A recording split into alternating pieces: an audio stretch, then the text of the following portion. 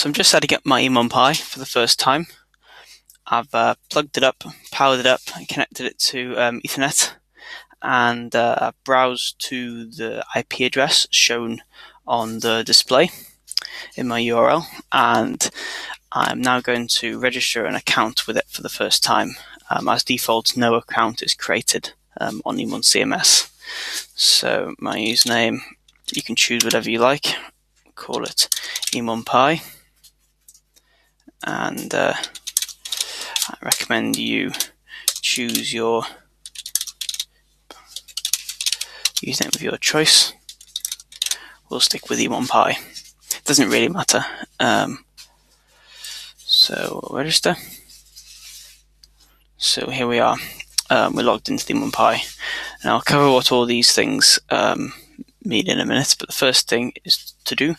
Um, if you'd like to connect your emonPi to Wi-Fi, so we can disconnect the Ethernet cable and move it to um, its installed location.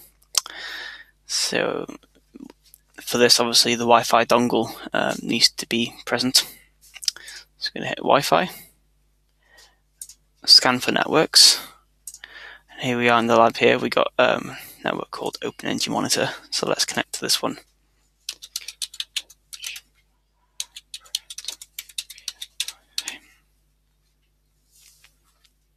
So typed in the password, hit connect, give it a few seconds, hit refresh. There we go, we're connected. Hit refresh again, give it a few more seconds, and there we go.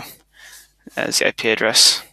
And here we can stop, start, and restart Wi-Fi if required, but all should be needed is re refresh. So we can now uh, shut down the emonPi by holding the shutdown button. Um, on the enclosure by pr pressing it with a little uh, little pen. It's the button on the um, on the side there. Shut down the emonPi and move it to our installed location, and it will, will now connect connect to the Wi-Fi network we've uh, selected there.